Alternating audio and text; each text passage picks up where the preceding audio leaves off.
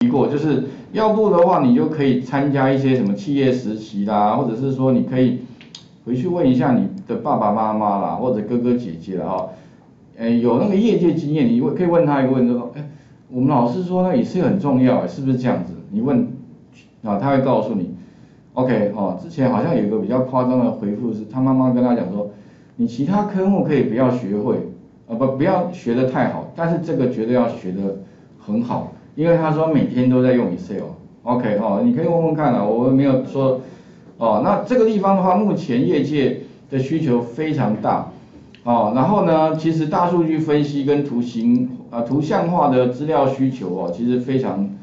的大了哈，OK，啊，所以因为这样关系哈，本来那个他跟他爸爸都没话讲，所以你们上学期有有一个学长哦，他回去就跟呃他爸爸聊天问这个问题之后呢，哎，他爸爸反而觉得很有兴趣，反而他爸爸隔天呢哈，就看了之后发现哇，好好好厉害哦，原来是这么好用，啧啧称奇，然后呢，于是呢甚至还到。他们工厂哦，跟年轻人说，帮叫其他人一定要订阅我的频道。哦，OK，嗯，这这 OK 哈，反正就是说很重要的意思啦哈，好，那其他的话，这是我得的奖项哦，锦上添花。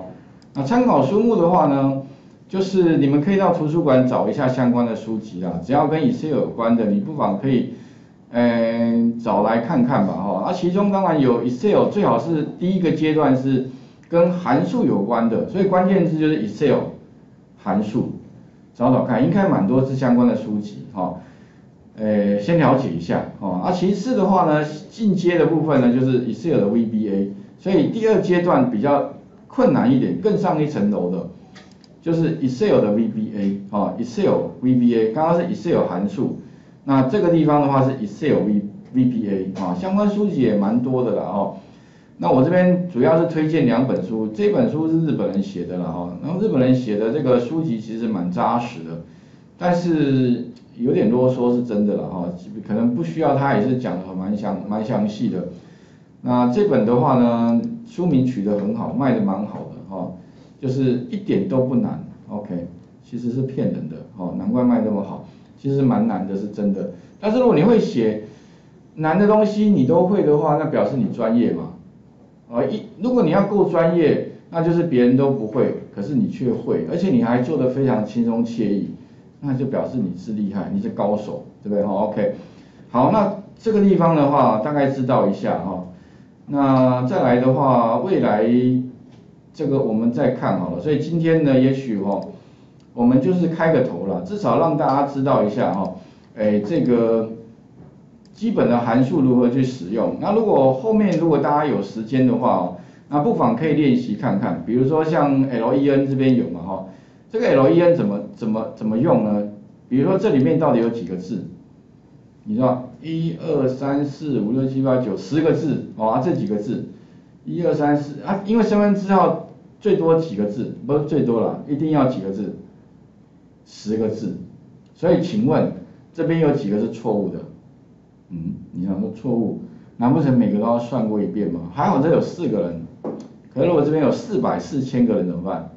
那就不是，所以哦，很简单，这边插入一个函数，有没有？游标放在 C 三，点击上面的插入函数，用文字里面的 len，有没有 L 开头嘛？哈，然后他会问你一个问题。请问一下，你要算的那个资料在哪里？test 文字在哪里？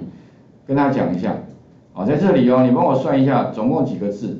他会告诉你答案，所以你把它向下填满，答案就出来了。哎，有几个是错误的？这两个吧，OK。因为身份证字号绝对不会有十一个字，显然这两个资料是有错误的，OK 哦。所以哦，你会发现啊，哦，这函数很好用哎。有了这个，马上答案就出来了。那其他的话还有哪一些性别？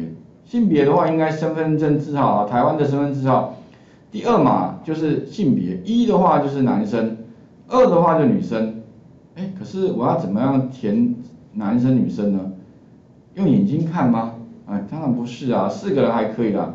所以呢，你总不能说哦，一填一个男，二填一个女，那如果这边呢不是四四个人哦，而是四千个人的话，哦，那怎么办？每个用看的，然后自己在那边打，不是，怎么办？